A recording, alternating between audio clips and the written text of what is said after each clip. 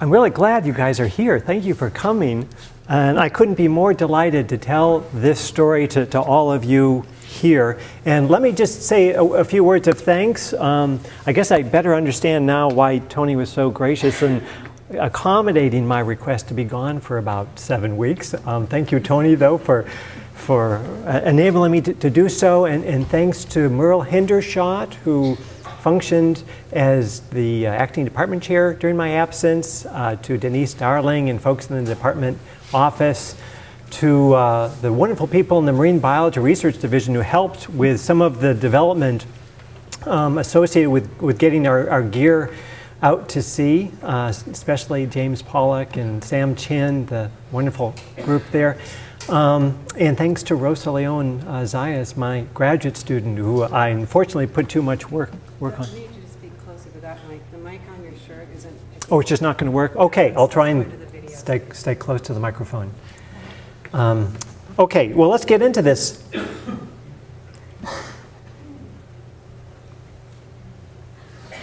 Let's see if this is going to work. There we go.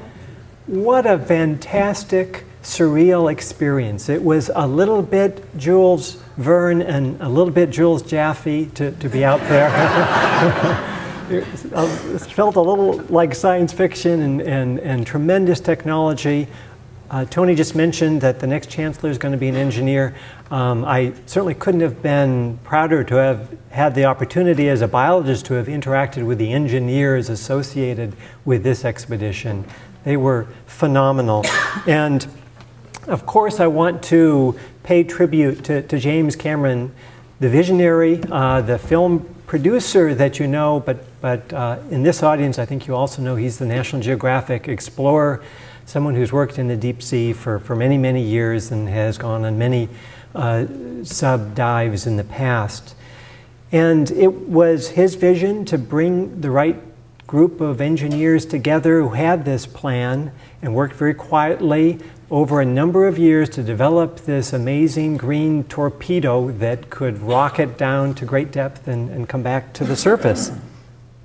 I've said this before, and, and I'll say it again the, the steel that had to be put into that sphere uh, had nothing on the steel in, in, in, Jim Cameron to be able to go into a, a sub uh, as yet untested by a, a, another pilot and, and go to the, the fullest ocean depth really uh, it takes confidence, it takes knowledge, and uh, took a lot of guts. So here's the sub. Here's at least uh, some artists' renditions of the Deep Sea Challenger.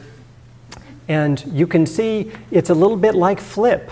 Um, it operates in both a horizontal and a vertical fashion, and it, it goes down in, in this vertical format. You see over on the right some of the, the key characteristics of the sub, the large panel of, of LED lights, the boom for lights and for, for the camera, one of the cameras, the lithium ion battery sections, uh, the iron weights at the bottom, the stabilizer fins. Much of the weight is taken up by this, the, this, the sphere, uh, this, this steel uh, uh cylinder it's only 43 centimeters across inside, so the pilots, both Jim and Ron Allum, had to sit with their legs crossed for the duration of the dive. Uh, so a very small compartment inside. It was held by polyester straps to the, the, the uh, majority of the structure of the sub, which is this um, specially produced syntactic foam that actually increased in buoyancy with depth and provided a lot of the structure for the sub. So very, very novel engineering went into this. There's a view of, of Jim uh, in, in the sphere. Again, you can see very little, little room, instrumentation all around him for oxygen and CO2 scrubbing and uh, capturing the moisture, the condensation from, uh, from, from him. Um, for the, the piloting controls, for the working of the manipulator arm, and, and so on. So very little room inside. This is uh, an example of the display that he could look at, look at. He could very easily see where he was at with regard to depth. It had a, an autopilot and an auto altitude feature to it. And of course, we can compare the Deep Sea Challenger with the Trieste, the bathyscaphe that went down 50 plus years ago. Deep Sea Challenger, much lighter, 12 metric tons. Uh, only a single pilot could go in versus two. It went down super fast, almost two meters per second, up um, less than four meters per second, but very, very rapid ascent. So it was just two hours down to the Challenger Deep one hour back up. Uh, it would rotate a, a, bit as it went up and, and, and, down so it could hold on to position. Um, obviously, it had amazing uh, video capabilities uh, associated with it.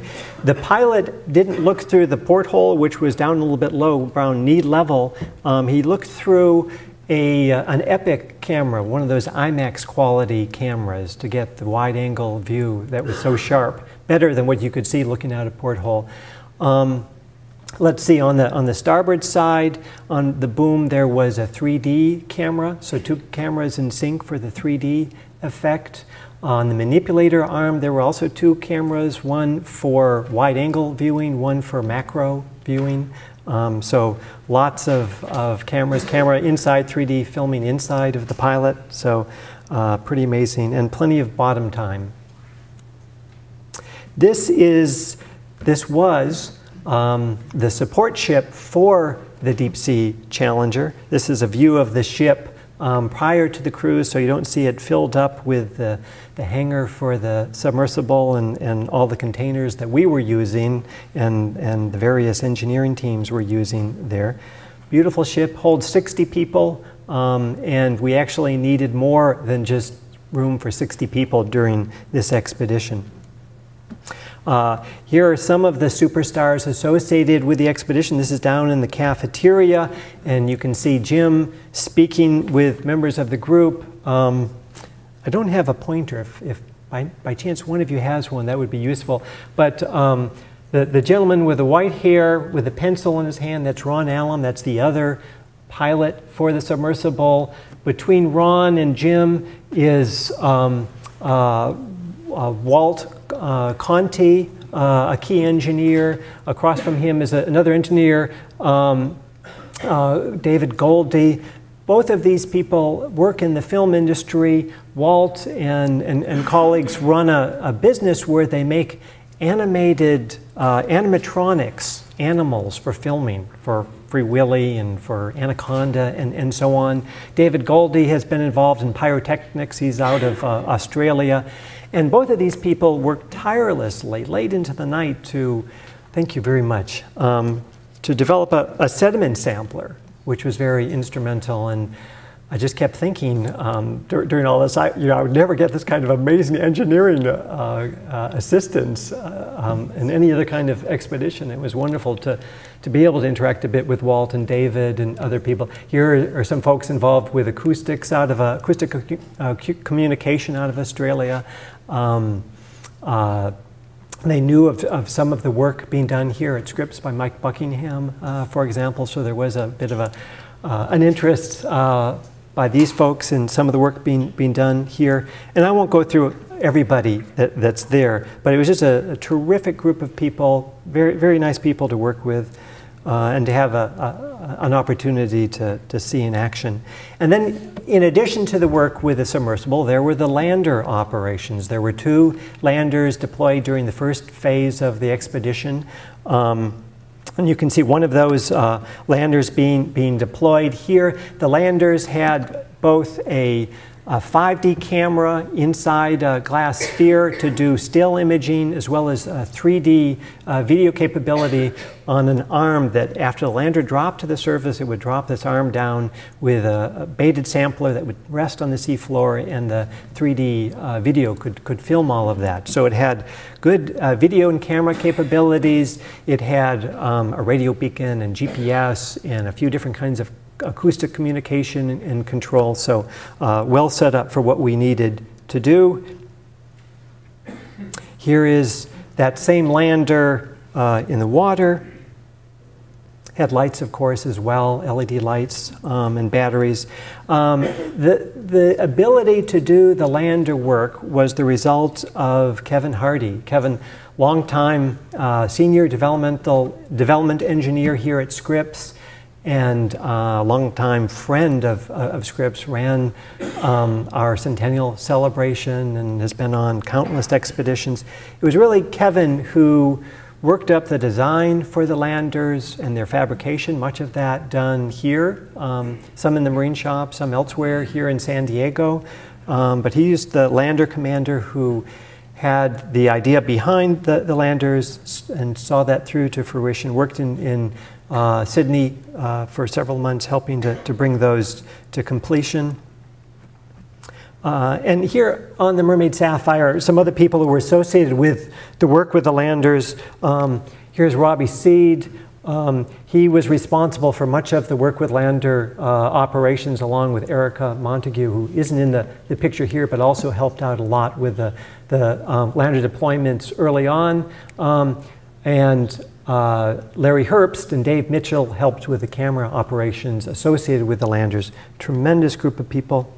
Um, okay, so when starting out the, the expedition, we started out in Papua New Guinea off the island of New Britain. So here you see the island, island of New Britain. Australia would be uh, below the screen. Um, uh, we've got Philippines off to, to the northwest here and Japan to the north. Northern Mariana Islands here, Guam right here, Challenger Deep, and the, the Mariana Trench uh, coming along here, okay? Um, and much of this is, is Micronesia. So we started out the expedition here, and we ended up the expedition in the, in the Challenger Deep and in the area of Guam. Um, this is a slide that gives you a little sense of the bathymetry of the, of the New Britain Trench. The New Britain Trench gets as deep as about 8.2 kilometers. Um, you can see highlighted areas where there are volcanoes and where there have been earthquakes. Obviously, subduction zones are intimately associated with these sorts of uh, events, volcanic eruptions and, and, and earthquakes. And uh, you certainly felt that when you were in New Britain. Um, we stayed uh, in the city of Rabaul in 1994. There was a volcanic eruption there that destroyed much of the city. Uh, here you see a, a, view of the, the volcano. Uh, Tavurvur, I think is the pronunciation of the volcano. You can see the mermaid sapphire out here in the, in the bay. Um, I'm pleased to report you can still get plenty of betel nuts, as many as you'd like in the city, but much of the city was destroyed. Much of the ability for it to be a major harbor was destroyed in, in 1994. Again, that, that link to subduction processes and the formation of trenches. There was a, a second boat associated with the expedition, both in, uh, so, um, uh, with the, the work in the New Britain Trench and then later on in the Mariana Trench. And in Papua New Guinea, it was the Spirit of, of New Guinea dive boat that we worked off of. Um, the lab conditions were, were primitive. Here, here you can see we're just right on the, the back of a, was really a scuba diving boat, but it was sufficient to get get a lot of work done, and, and the crew on this ship were just fantastic. We uh, had to commute from the dive boat to the Mermaid Sapphire every morning and then back home late at night. And so this is our, our uh, morning commute. Um, here's Peter Batson. Uh, he is a gentleman from New Zealand, a good marine biologist. He was someone involved with coordinating the science operation. So it was great to have him out at sea. Uh, here's Mark Thiessen, a photographer with the National Geographic Society. There were a lot of really great photographers and writers associated with the expedition, people have written books about environmental causes. Mark has gone off and filmed methane hydrates in uh, in Arctic permafrost, and he's followed Russian firefighters in, in, in, in, Russia. He's just got amazing stories to tell. There are a lot of people like that that were part of this expedition. So that was the, the morning commute. Um, oftentimes, uh, we would start out the day with a 7 a.m. meeting on the bridge, and so here you, you can see us uh, starting to get positioned for that meeting. It gives me an opportunity to, to, to mention some of the other people uh, that were there. David Wotherspoon, who, who took care of all of the operations on the, on the stern of the, the vessel, the deployment recovery of the sub and the landers, and, and really looked over much of what, what happened. Uh, he's served, I think it's 14 tours of, uh, of duty in the, in the British military. Uh, so, an, an, amazing person. Uh, this is John Bruno, film director, Academy Award winning film director for special effects uh, with Avatar. Um, Glenn Singleman was the physician on the cruise and, and also was one of the, the, the, filmmakers. Like a lot of people on the cruise, people did double duty. Um, and Glenn is an amazing person. So, for fun, what Glenn likes to do is climb up mountains wearing squirrel suits that have these kinds of um, connections between the body and the arm and jump off um, cliffs. And he's done this in the Himalayas, so he's climbed the Indian Himalayas. Um, in fact, I think he met his, his, his wife doing this, this kind of thing. He helped her to overcome her fear of heights by doing this. So again, some amazing people. Um, you can see some of the film crew here, here, Glenn. Um, it's interesting, uh, you, you, know, you think going out to sea that the biggest people would be the people who are doing all the, the heavy lifting associated with the sub and the, the landers. The biggest people were the, the film crew that had to carry these 3D cameras everywhere. Large, massive cameras that usually are on, on, on tracks that they would climb up ladders and stand on containers on a rocking ship to, to do filming. So, super people. And, and of course, during the morning meetings, Jim would run the, the, the, meeting. He was a very strict taskmaster. He would go through all the different teams associated with various responsibilities, and you had to make sure that you had completed your task, or if you hadn't, um, you knew what the problem was and you knew when it was going to be solved, um, so that everybody in the team could, could figure out just what the, the time frame was going to be for, for getting the sub and the landers operational and in sync. Okay, so what about the, the operations? So here's a, a view of the deployment of this, this beautiful green machine um, in the New Britain Trench. Uh, this, we started off with just a shallow water dive. We went from one kilometers to four to, to eight kilometers. So here, here it is with Jim, Jim inside. Um, uh, and during deployment and recovery, I wanted to highlight there were a number of divers who would be involved with getting uh, floats off or on the submersible and with other aspects of the recovery. And this is a not a good picture, but this is Charlie Arneson. Charlie was a graduate student here at, at Scripps. Phenomenal marine ecologist, has written books on invertebrates in the Western Pacific, guide, guidebooks, and uh, actually ran the film studio for the filming of the Titanic in, in Baja California. And just a great guy. You'd see him out there doing all this diving work, and then when the sub was back on deck, he was back on deck filming um, some of the operations associated with the. Re, uh, um, with Jim and the, and the, interviews and so on. So uh, he took care of much of the logistics as well. And here's Jim coming out of the sub. During the first sub, many of us associated with the expedition all had our, our cameras out and our iPhones and whatnot, and we were all taking pictures. We were all so excited. Everything worked and, and, and the deployment recovery was fine. So we were all excited about that. And afterwards, we got the message from Jim and the film crew that it really didn't look very professional for most of the people on the ship to be um, taking pictures, uh, was, especially when we had professionals to do that sort of thing. So then we put our iPhones away and, and we were a little bit more restrained. But it was, this was a, a, a, a great, a great evening to, to see Jim come back, and, and he, was, he was certainly excited. One of the things that happened shortly after Jim got back on, on the ship and, and, and after a, a, a little bit of time was he started looking over the sub videos and seeing what, uh, what they had actually filmed, what he had actually filmed.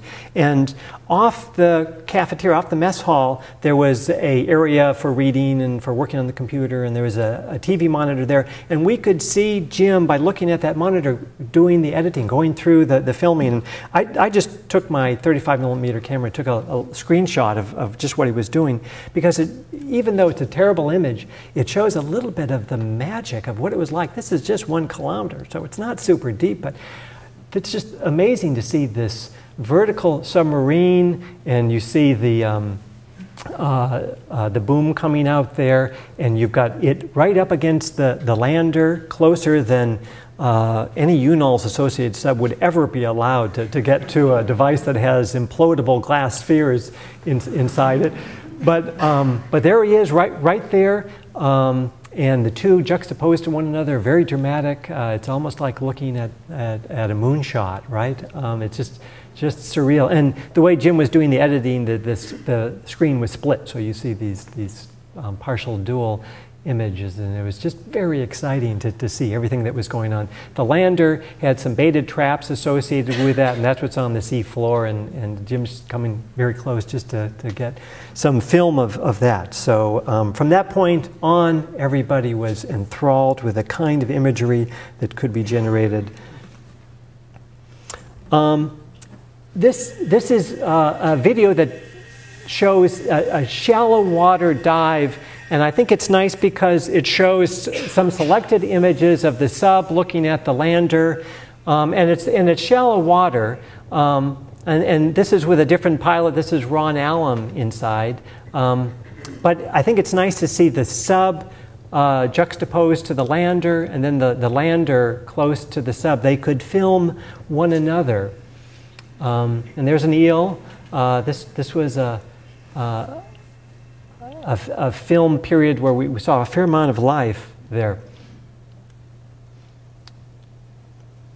Okay, and then conversely, this is the lander filming the sub, and you see more of the eels out there, um, and uh, you see a little, little bit of, of, the sub. It's not a particularly clear view, but you can you can get an idea of how the two instruments could be used um, to to film one another and to to uh, to be on the Mermaid Sapphire, and there were really stunning images of the, the ROV going around both the lander and the sub, filming them together, and, and that was really beautiful.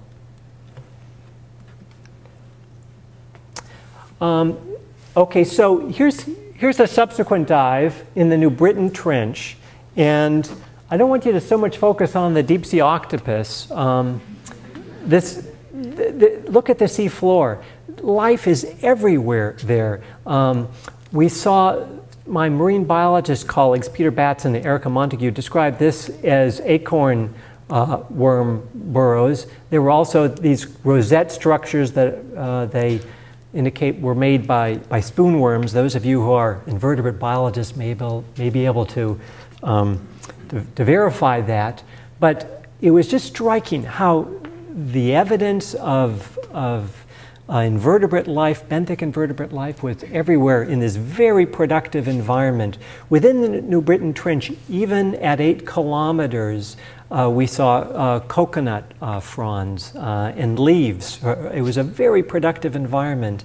I, we, we, we collected samples for chemistry. We don't have those results yet, but I think that'll verify just how, how nutrient rich it was.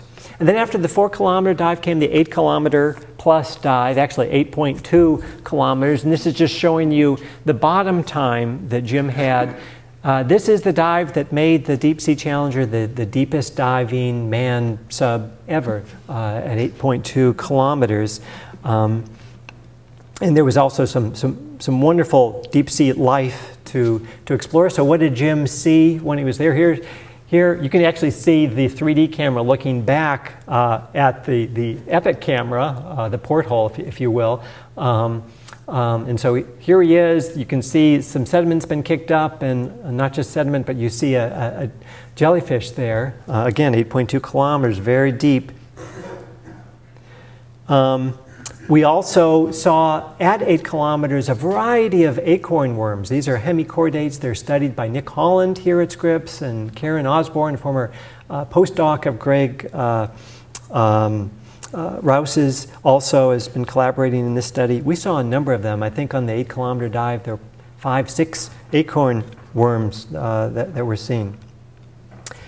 Um, also with the macro lens, there was some stunning imagery that could be obtained. So here we have some stock sea anemones. This is coming up the trench wall from 8.2 kilometers, and you get a feel for just the kind of close-up imagery that Jim was able to get of, of these sea anemones.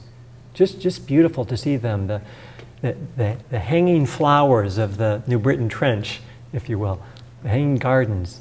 Um, but, but, but very nice to be able to see with that kind of detail.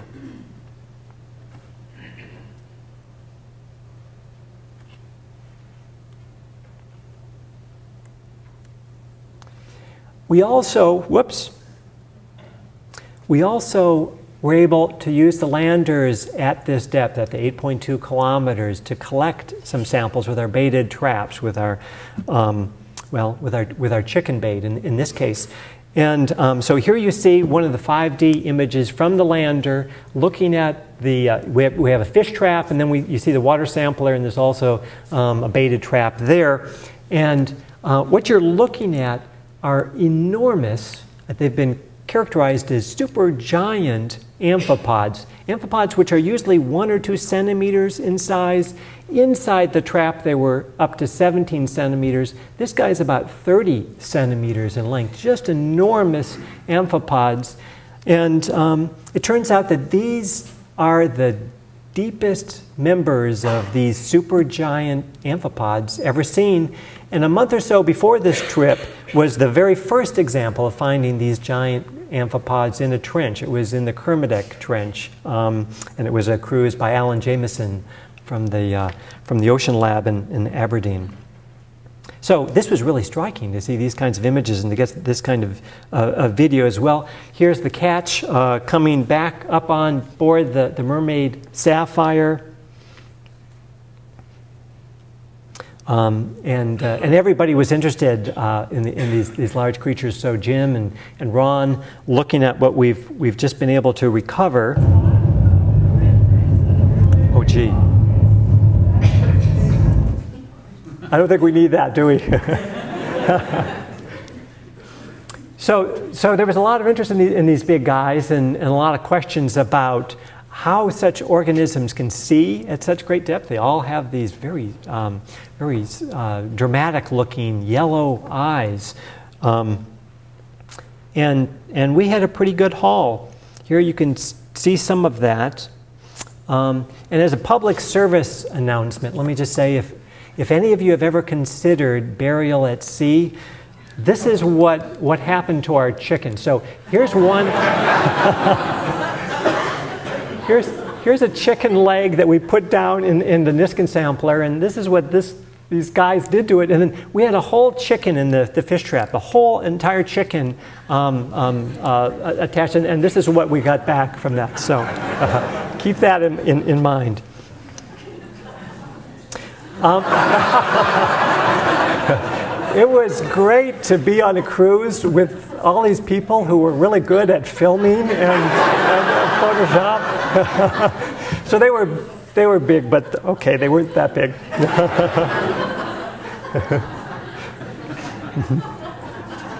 Okay, so um, things, things went well. During the New Britain part of the trench, we were able to collect some things. We didn't collect a lot. Um, and it, from the shallow water depths, some of my colleagues were able to use some of their macro lenses and photographic skills to, to look at uh, a little more in detail at what we got. This happens to be an isopod here.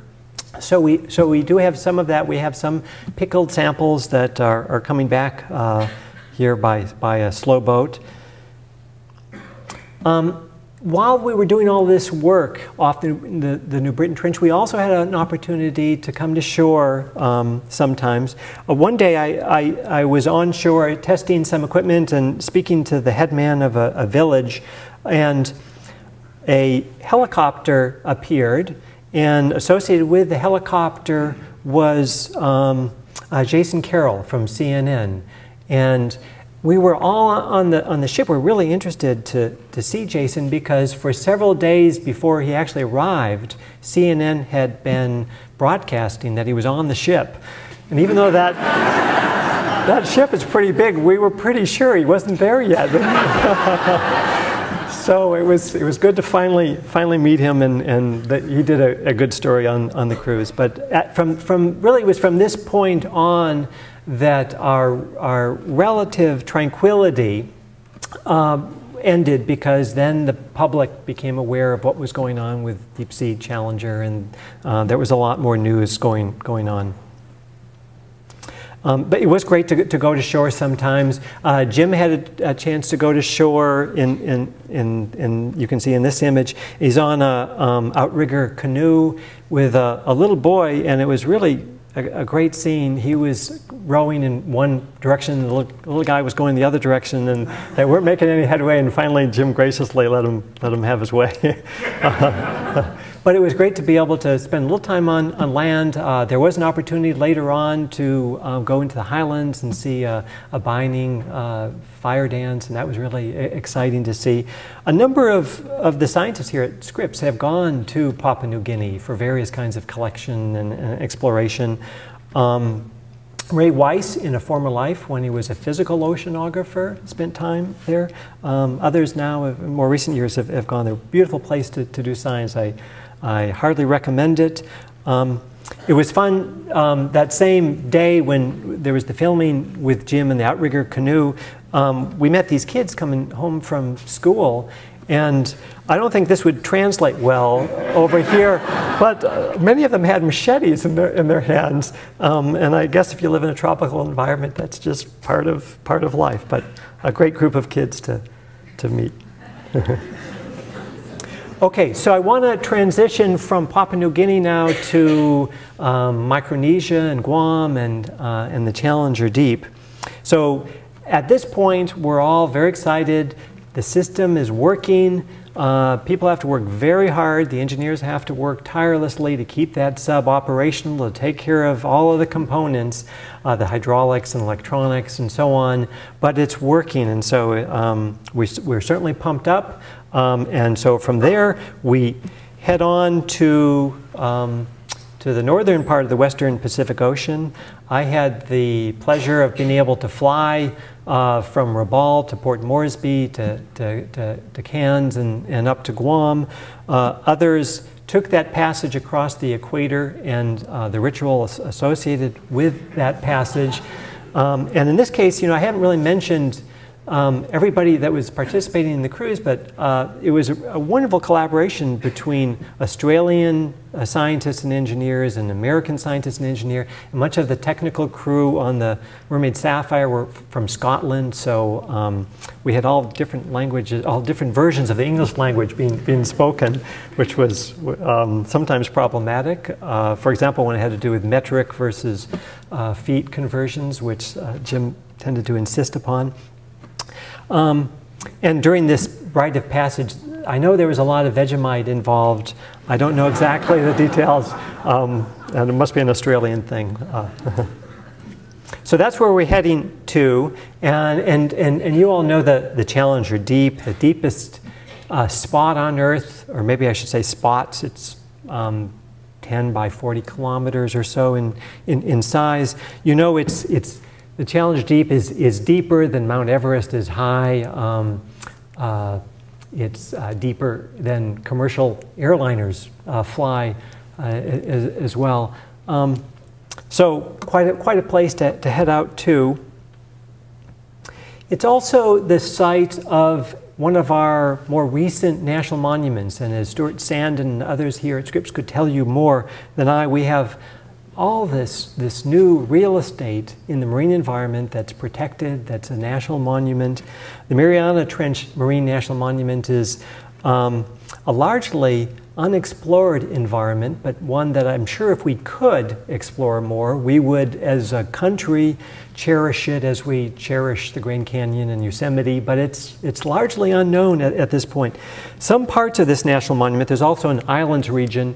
Um, uh, are just amazing. There, there are all these hydrothermal vent environments in, um, the back arc basin and the fore arc basin of, of this region, some with liquid CO2, some with liquid sulfur, just amazing places to, to go to. And again, some Scripps scientists are involved with, with some work there.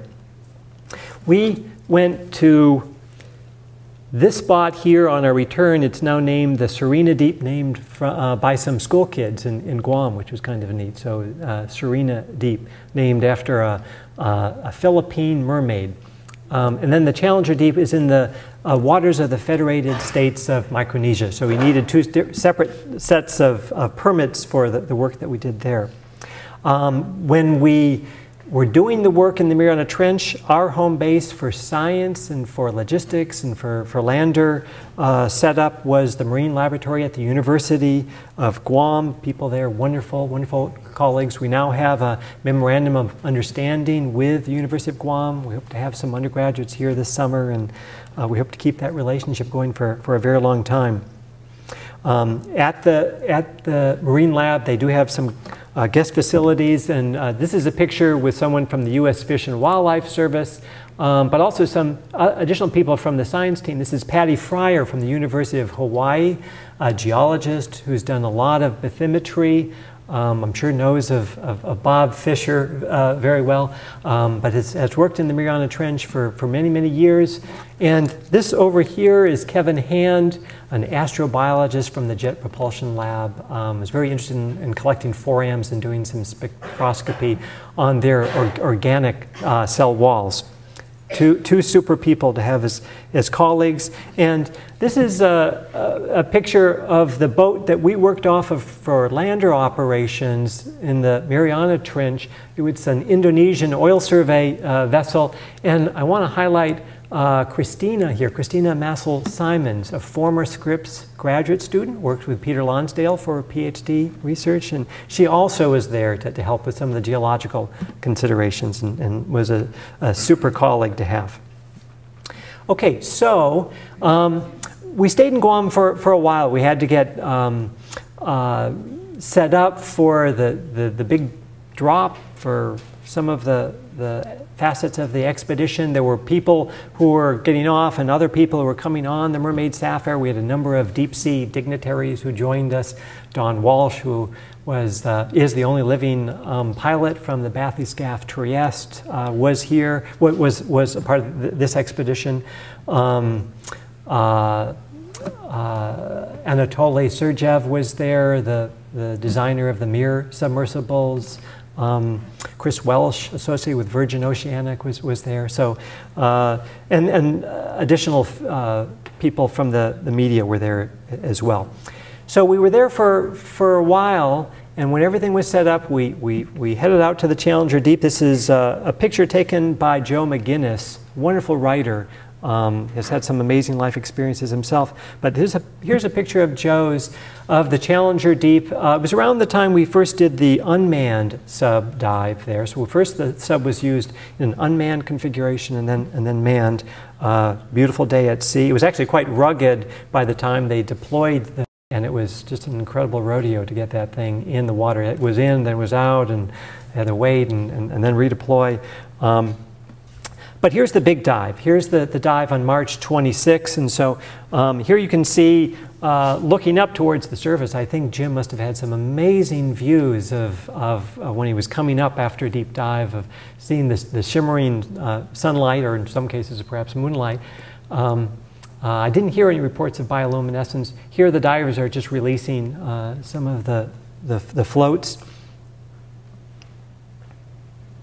And then, of course, um, I won't, I, I, won't have sound for you, but this is touchdown here. So this is uh, the lander coming down.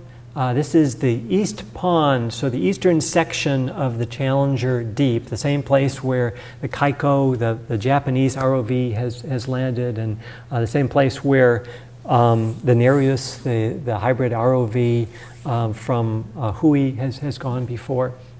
So, so, so there he is. He's, he's, he's made it down uh, to full ocean depth. Very exciting.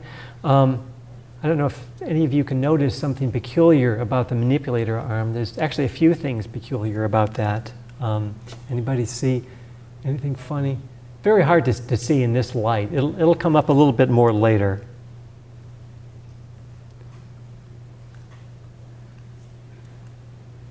There it's a little more obvious. Um, the manipulator arm is wearing a watch. Uh, do, do, you see that? It's actually a Rolex watch. Rolex is, was one of the sponsors of the expedition. Actually, this is a good opportunity for me to, to let you know it was Rolex and National Geographic and Sloan Foundation and, and Jim himself. Um, I don't know who would want a watch that could do something like this, but uh, if you do, Rolex. Remember Rolex. And so I just wanted to show you this, not so much because of Rolex, but uh, this is a very special scene for me. Um, the payload door has been opened, and Jim has just pushed down and gotten a sediment sample for me. And, uh, and, uh, and again, I'm indebted to the folks who helped to make this happen. Uh, Bruce Sutphin also helped out. Bruce is here in the, in the audience, uh, great physicist and uh, somebody who's worked with America's Cup and, and the Navy before.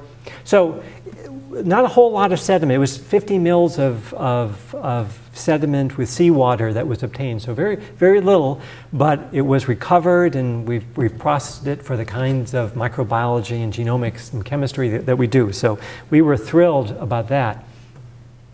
Um, so what did, what did Jim see during this part of the dive? Now this is 11 kilometers or so down, deepest spot on Earth. What was there to see?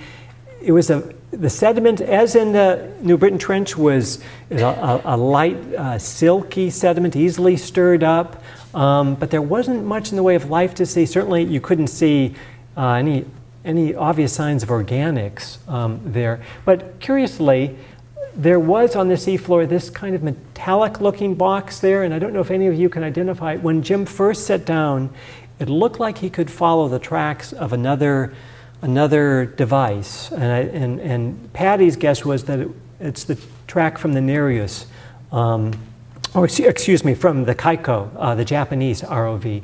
And um, so I wonder, and I'll have to talk to some of my Japanese friends if that, that could be something that was left there. It just doesn't look like um, some some uh, human refuse. I, th I, think this must be something associated with, with the diving operation. I also want, want to highlight the sediment that you see on, on top here. I don't know what this is, and I'm hoping some of you can help me with it. If it's signs of bioturbation, uh, in the past with some lander operations in the Sirena Deep, with Lisa Levin's uh, assistance, Lisa identified some forams, some foraminifera, xenophyophores, So I don't know if these could be something like that.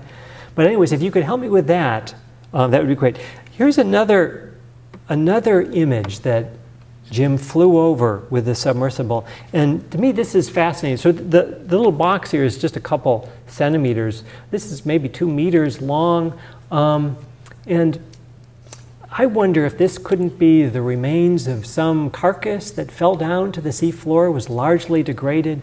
The darkness could be um, sulfur reduction, and so we're seeing iron sulfide deposits, but um, I could certainly be wrong about that. Here is the, the sub going over this, this environment. So please, for those of you who know, and, and this would be really appropriate to talk to Greg Rouse about, I think, um, uh, it would have been wonderful, of course, if we had been able to have obtained a, a sample there to, to, look at. We didn't. Um, but it is intriguing.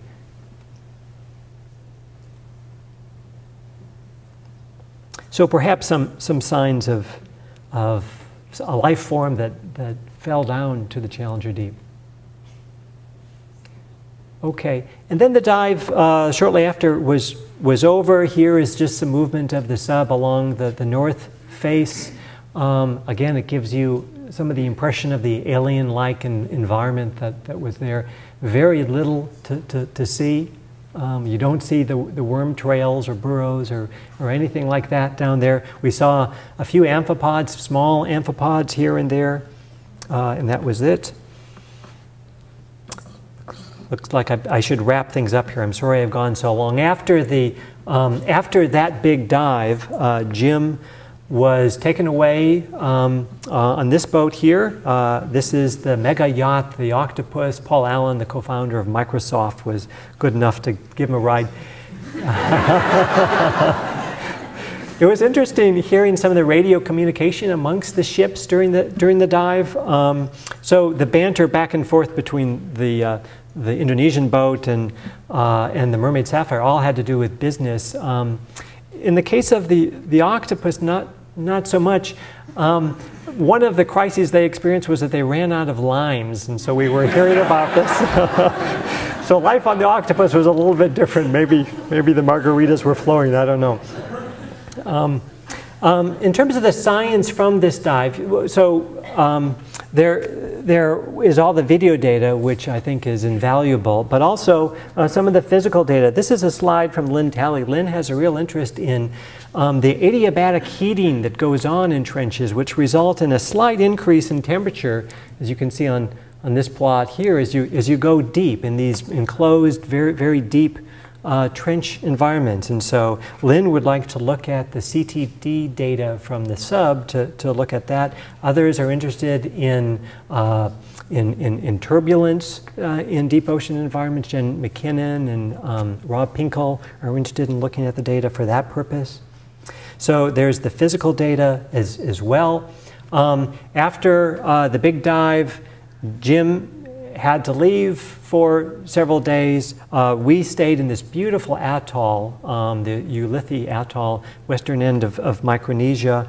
Um, when, when Jim came back, we did some more shallow water work, but we didn't do another uh, deep ocean dive, and that will happen in the next phase of, of diving operations. So that's, that's going to happen. Um, but just in, in ending, let me say that Jim gave those of us who were involved with the lander operations uh, a wonderful present. Even after the sub operations were done, he allowed Kevin and, and Kevin, uh, Kevin Hardy's team to go off on, on that in, uh, Indonesian oil survey vessel and do a number of lander deployments in the Mariana Trench. So we were able to do some additional deployments, and those worked just beautifully. This is the ship, um, the, the, the, stern uh, of, of, the ship. You can see with the A-frame and the winch, um, the cleats and whatnot. It was very well set up for deploying the, the landers. And um, the, let me just uh, back up here. So you see these, these two containers here. So this was where the, um, um, the lander equipment was. This is where the, uh, um, the science operations were. So just to give you a sense of what went on, I haven't had a chance yet to mention Roger Chastain's name. So Roger Chastain is a technician who works with me, and he's the person who set up this lab here and, and, did a beautiful job. So Roger was all set up for processing samples in various ways, for doing high pressure incubations and for processing material for genomic studies and, and so on. So uh, we had a good lab in, in, in, um, in this container. It was air conditioned, so our samples didn't uh, get too hot and we didn't get too hot, so that was good. Um, and of course, the, one of the sweetest sights in working with landers is to, to, see them coming up to the surface. And Kevin worked it out beautifully. We're just off the port or just off the starboard side. The landers came up during our sequential deployments and worked beautifully.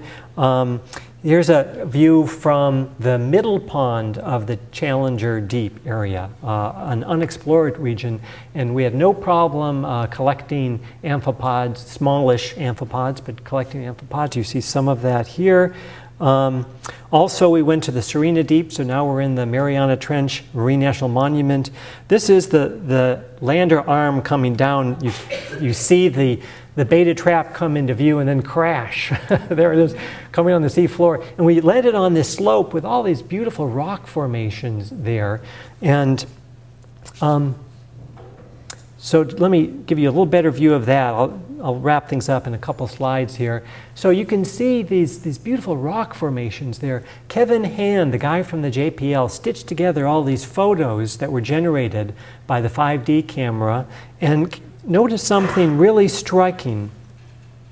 And, and, and that is that as he's down and is imaging the sea, seafloor, he's very interested in rocks, especially rocks that can be associated with a process called serpentinization that generates hydrogen and methane, energy sources that microbes can, can use.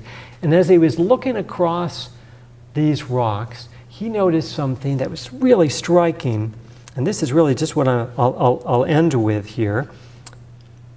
Um, so he, he noticed um, these really interesting formations on, on, on, the rocks, and it could be the result of this process of serpentinization, could be abiotic, but could, these could also be microbial mats on, on the sea floor, even at this great depth. This is pretty much uh, as deep as the Challenger Deep. This is 10.7 kilometers or greater. And so, fascinating discovery made by Kevin Hand at the JPL. Okay, well, there's a lot to talk about. I've talked too long as it is. Um, if you do want any more information, the National Geographic has a wonderful website with lots of background information and lots more stories about some of these amazing engineers and, and, and writers and so on who were involved with the expedition. So um, please, please go there. And know that this isn't the, the end of the expedition. Um, they'll, that, or the end of, of this kind of exploration. This submersible may be uh, uh, refitted for, for deep ocean work at some point in the future. Certainly at this point in, in, the phase two of the operations, we're just analyzing lots of material for, for science. And so that's the, the main thrust of the project right now.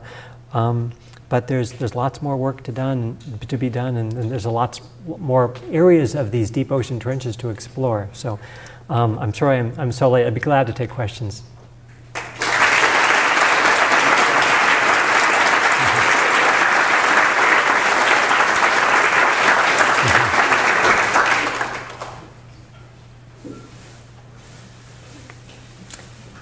Uh, yes. Uh-huh.